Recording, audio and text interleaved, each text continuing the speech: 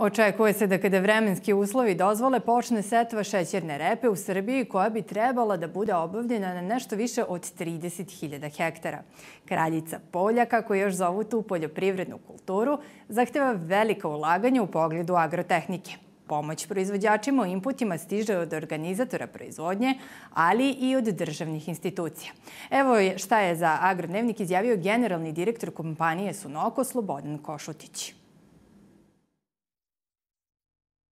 Mi smo sa predlogom naših ugovora izašli još u avgustu mesecu i opredelili naše proizvođače za proizvodnju šećerne repe, a tim opredeljenjem smo došli do informacija vezane za pripremu zemljišta, odnosno veštačkog džubriva, tako da smo mi, moram da priznam, na vreme obezbedili e, neki repramaterijal, što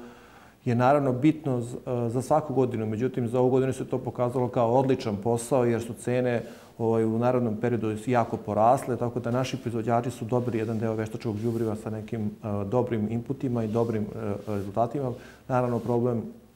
azotnih džubriva koji se nabavljao kasnije se pojavio, ali mi smo odgovorili sa,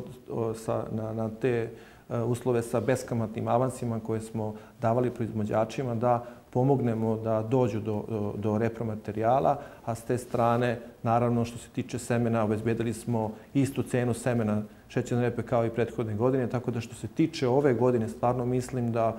u, u skladu sa ovim odlukama vlade koje su dale, znači što se tiče subvencija i mogućnosti zadržavanja cene nafte, ova, ova šet, setva šećerne repe se održi na dobrom i kvalitetnom uh, nivou.